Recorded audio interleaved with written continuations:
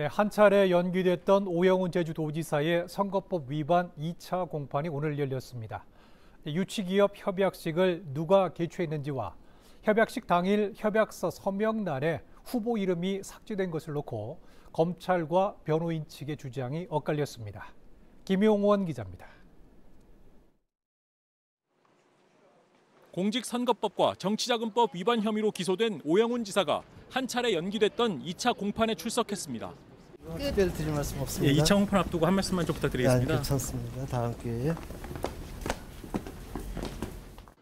지난해 5월 16일 오영훈 후보 캠프에서 열린 상장기업 협약식 주최와 개최 경위를 놓고 검찰과 변호인 측은 정반대 입장으로 공방을 벌였습니다.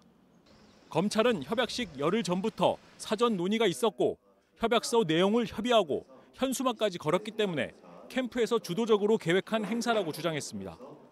또 추가 지원을 하겠다고 한 발언 자체도 위법성이 있고 회견문 내용을 기자단에 보도자료 형태로 배포한 것도 사전 선거운동으로 보고 있습니다.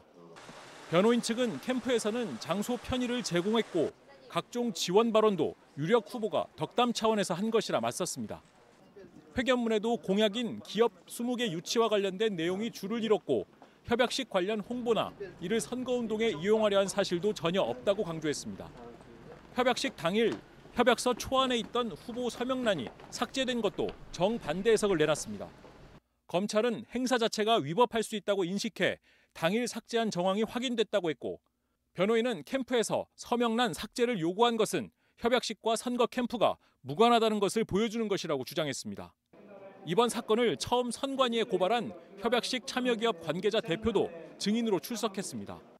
검찰 질문에 변호인이 선거운동으로 몰아가는 유도신문이라며 이의를 제기하는 등 신문 과정에서 신경전을 벌이기도 했습니다. 캠프에서 지지선언을 주도했다는 공소 사실에 대해서도 검찰은 전현직 도청 비서진이자 당시 캠프 관계자였던 증인들을 상대로 혐의 입증에 주력했고 변호인은 사실관계를 확인하며 반박하면서 실체 규명을 놓고 평행선을 달렸습니다. KCTV 뉴스 김용원입니다.